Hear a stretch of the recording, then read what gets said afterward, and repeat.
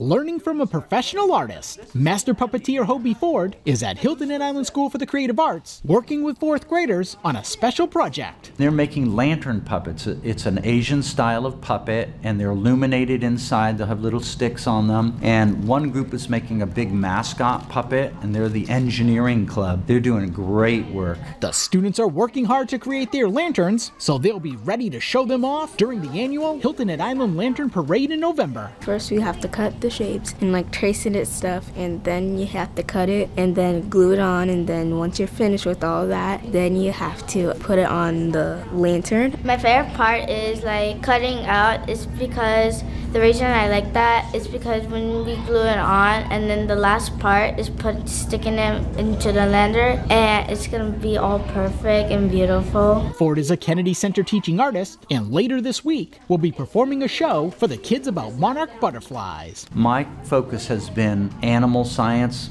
specifically the metamorphosis piece. And so the show that I'll be doing on Friday here features monarch butterfly metamorphosis, and they see the whole process almost photorealistically with puppets. The students are excited to be working with a professional artist and learning about the butterflies. It's kind of like cool for me because I get to learn more about like monarch butterflies, and when they're in the chrysalis, now I know how like the wings get on and stuff that they can teach you how to make new paintings and become a real artist when you grow up. Ford is having fun working with the students and passing on his love for the arts. The thing I would hope most of all would come from this is that they would want to make things and be makers. And when I was a kid, working with my hands was something that got me interested in things. And so I got into the arts in high school, and it really motivated me to do well in the other classes so I could get time in art classes and whatnot. This project was made possible by the Art Center of Coastal Carolinas, Partners in Education, through the Kennedy Center program.